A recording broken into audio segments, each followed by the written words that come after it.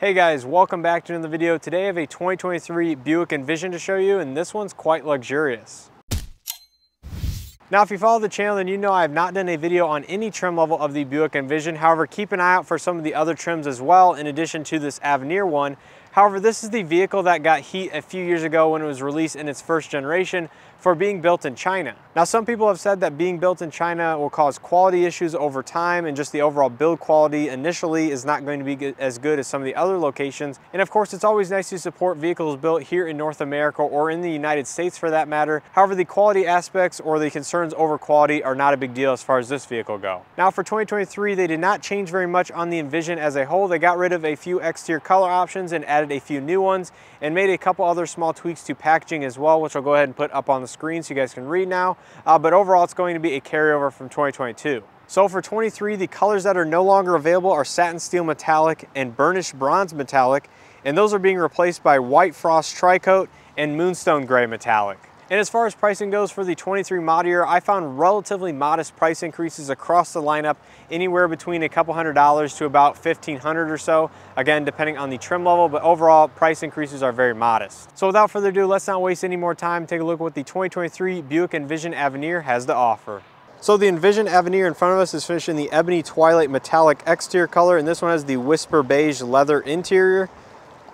It's a very nice metallic black color. You can kind of see the flake here in the sunlight. This one has the Technology Package 2, which features the enhanced functionality LED headlights. But LED lighting will come standard on the Avenir, so you have LED projector high beams as well as the low beams, LED daytime running lights and turn signals below the headlight assembly there. No fog lights, but does have front parking sensors and the front camera for the 360 camera system red, white, and blue Buick emblem that they changed a few years ago, and lots of chrome trim because this is more of a luxury-oriented vehicle. So it does look very stylish, and I am a huge fan of the second generation Envision styling. Now this one does have paint match body cladding along the lower portions of the vehicle, so that is a nice premium touch too. Coming to the wheels and tires, these are your 20 inch alloy wheels as part of the Avenir trim. They're wrapped in 245, 45, 20 inch Continental Pro Contact TX all-season tires. Nice solid all-season for sure. Paint match mirror caps with your camera for the surround vision camera system. They are going to be heated.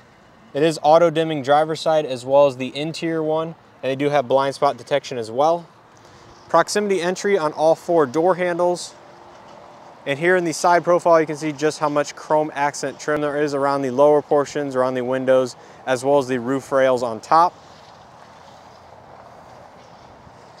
Out back, you will find the exclusive Avenir clear LED taillights. I do think this is a nice touch. It lends it to kind of differentiate it versus the rest of the lineup. So these are going to be full LED taillights, LED turn signals with LED reverse lights. Find more chrome trim along the bottom of the bumper with some silver metallic kind of accent there in the middle. Rear parking sensors, rear backup camera. Of course, the same red, white, and blue Buick emblem. And then your Avenir badge, which again is the top trim here in the Envisions lineup.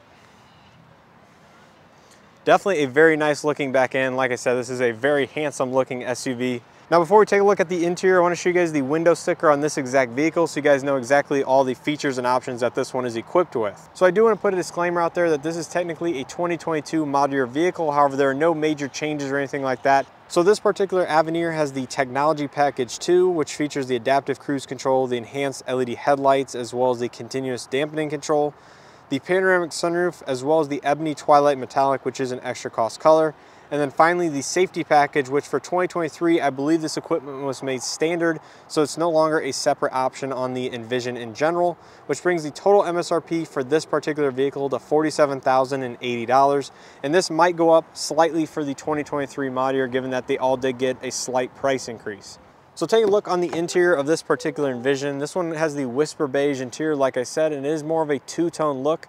So it has kind of the dark black uppers with the light beige lowers. Starting out here on the door panel, you will find soft touch upper door panels with a leather stitch armrest, of course. Power windows, mirrors, and locks with two person memory seating for the driver's side. Power liftgate, which does have programmable height, as well as the Bose premium audio system. A little bit of extra storage as well. but definitely a nice looking door panel for sure. Coming to the seat, this is a power driver seat, but there's no power lumbar adjustment, it looks like. You have white accent piping on the outside with that nice kind of unique patterned insert. Kind of a diamond quilted look to it, definitely very nice. And you do have the Avenir stitch in the headrest. So we'll go ahead and step inside and start it up.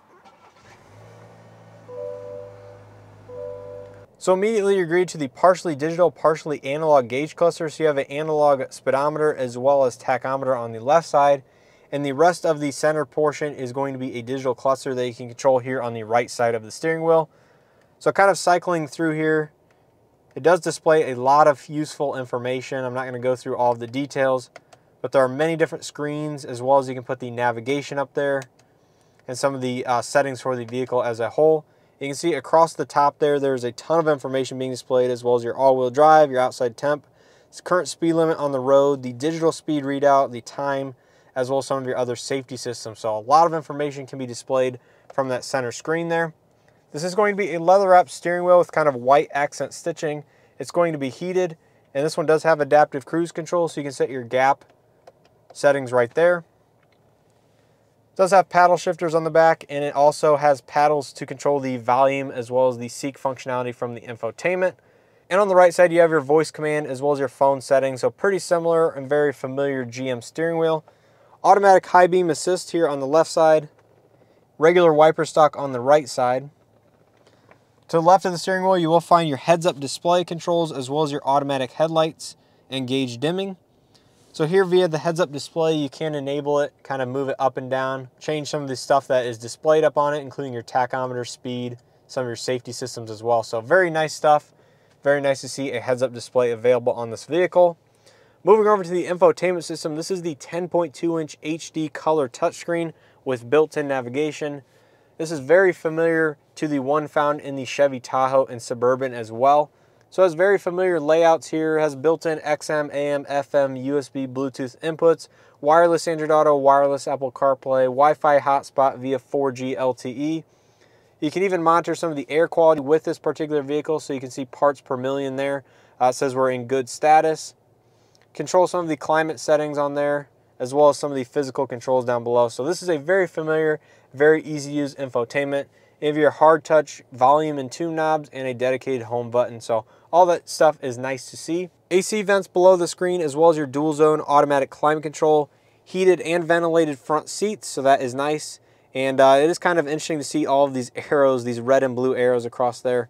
Kind of does look a little bit confusing, but these outside ones are for your seats and the inside ones are for the dual zone automatic climate. Below that, you do have a little storage cubby that you kind of retract the lid on, USB-A and USB-C inputs, SD card slot for the built-in navigation. There's a 12 volt outlet and then your phone wireless charging pad. I would say that is slightly on the smaller side of things. I guess I can go ahead and put my 13 Pro in here so you guys can get a little bit of reference. It fits without issue. I guess if you have one of the largest phones on the market, that might get a little snug in there, but it is nice to see you can go ahead and close it up, uh, cover it up, get it out of the way. Here's your stop start on off, hill descent control, lane keeping assist, traction control off, this is your automatic parking assist as part of that Technology 2 package, and then your parking sensors on off right there. This does have push-pull gear selection, similar to some of the other Buick and GM products on the market. I would rather have it in this location rather than some of the GMC products that kind of put it up here at the front of the console. I think this location or up on the dash kind of makes a little bit more sense than that lower console section. Two cup holders with some chrome bright work, and this is your key fob for this particular GM model. Now I do kind of like the smaller Buick key fob. This is the one found on some of the Chevy products as well. See a little Buick emblem on the back. It is just a little bit bigger than that other GM key fob like on the Enclave and some of the other Buick products, but very useful stuff. Remote start as well as your power tailgate on there. Typical stuff. Electronic parking brake on the back as well as your drive mode select. So you can see this does have tour, all-wheel drive, sport, and off-road modes. So a good amount of selection for the all-wheel drive system there. And below the console here, you will find little side cubbies on either side, so you have a little storage slot to put stuff in. This is not as large as the Acadia or the Hyundai Santa Fe for that matter, which kind of pass all the way through, but it is welcome to have some additional storage. And the console here is nicely padded, so I do like that. Moving over to the console lid, you can see this is a split design. It's nicely leather wrapped, soft touch. Opens like that. On the inside, there's no ports or lights or anything, but it is just nice to have some additional storage space in there. Coming up top to the headliner, this is a nice light beige headliner, kind of matches the seats. LED vanity lights there. This one does have the digital camera mirror, again, as part of that technology package too. You can change it into a regular auto dimming mirror just by flipping that switch. Lots of adjustments here in terms of brightness, zoom level. You can move the view up and down. All that stuff is pretty traditional for the digital camera mirror from GM. OnStar and passenger airbag sensor up top sunroof controls, interior LED lighting, as well as three garage HomeLink settings. You can see no sunglasses holder or anything up here with the center console. So that is a bummer. That is going away in a lot of vehicles, it seems like. Uh, but nice to have all that stuff up top. And you can see the panoramic sunroof in this particular model goes well back, all the way back to the second row seat. So lets in a lot of additional light and is definitely very large. So let's go ahead and take a look at the back seat. See what the back seat has to offer in the Envision Avenir. The materials are going to fall through from the front and they should in a vehicle like this. So you have soft touch uppers, soft touch armrest here with the leather accent stitching. Same kind of faux wood trim that has a unique pattern there and some extra storage down below. Seats still have that kind of quilted accent stitching to them, which is nice. Steppanite is very good. And immediately stepping in, I can just feel how soft the seats are. But there's a look at the front dashboard. Out back, you will find AC vents in the back, and this one has the rear heated seats. Now, these are currently not activated, and there is a credit on the window sticker. However, that does include a later retrofit. USB-A and USB-C charging, as well as a 120 volt outlet. So great to have in the back seat. Mat pockets on both of the front seats. There's your panoramic sunroof once again. You can see it goes all the way back to the headrest there. This leather is a very nice material, very plush, very premium feeling, so that is nice. Two cup holders with center armrests, and the seats do fold 60-40 split, so very nice interior. You can see it is quite light in here. So if you have pets or anything that might kind of stain the material or uh, kind of get dirty over time, that is something to consider with this interior color. Now out back, you will find the power liftgate, of course. And behind the second row, you will find a very good amount of cargo capacity. Now you can see these are kind of unique floor mats with the Avenir stitching. They do look very luxurious with the multi-pile kind of black and gray color theme. LED lighting on either side of the inside, so that will light up this area plenty at nighttime. 12 volt outlet over here. And beneath the floor, you will find a temporary spare tire, so that is nice, and a little bit of additional storage on either side. So great to see all that stuff here in the back. You can definitely feel how nice this carpet feels versus some of the less expensive options on the market. You do have this kind of hard cargo shade that is removable as well. So good amount of cargo capacity behind the second row. Take a look at the passenger front seat. All the materials are going to fall through over here as well. You do have a power passenger front seat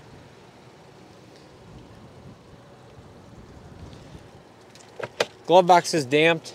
No LED lighting in there that I can see. And I guess I was mistaken. That console does actually go through as far as the storage goes.